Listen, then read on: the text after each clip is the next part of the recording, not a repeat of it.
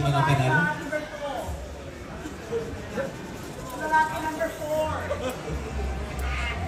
Alright, so here in my hands right now are our winners. So we'll move on to the grand finals. So pag tinawag ko po ang inyong pangalan, kindly move forward. And syempre, I would like to invite our judge, Sir Jonathan Alegre, to join me here on stage para po sa ating awarding. Thank you so much of course to Ms. Johnny Gonzalez, Ms. Jen Kobe Venancio. Mukhang nahirapan po talaga sila sa pagtabulate ng mga scores.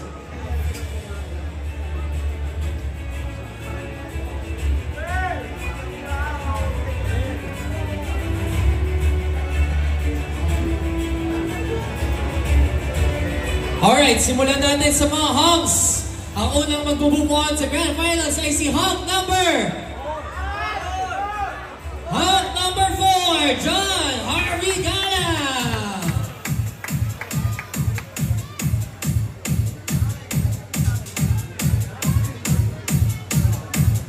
Congratulations to John Harvey. Joining John Harvey, I see Babe number... Babe number 5? Ayun ba sila? Sobra. Number 10? Eh, Ano ka kaya? Babe number 2! Angel Agustin! May mga nakikita mga hindi ko nakikita.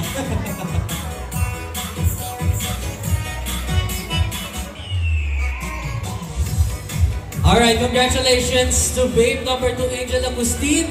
Uh, and I would just like to say, palakpakan po natin ang mga babes natin. Maraming salamat, babes. But unfortunately, only babe number 2 move on to the grand finals. So babes, maraming salamat po. You may proceed backstage. And of course, this is not the end of every journey. Tuloy-tuloy lang po ang laban natin. Para sa mga house po natin, di pa po tapos, may nakapasok na sa grand finals. Sino kaya to? Isita, sino?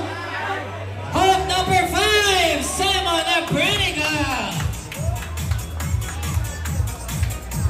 Hawk stay put dahil meron pa.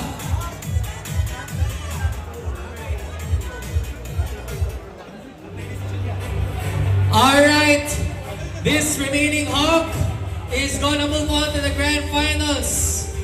So bago tayo sa lahat, isit ang Sinarama Complex. Bago po ito, maraming maraming salamat po sa inyong lahat. Magkita-kita ulit po tayo next week dito sa hottest show natin na Summer Bodies Fest. Ako po ulit si AC Aguilar. At ang huling hawk natin magmumukuhan sa grand finals ay si hawk number number 2, si Joe Marilina! To the other hawks, congratulations, JM and Man. Thank you so much for joining. Maraming maraming salamat. Is the Sinarama Complex. I'm AC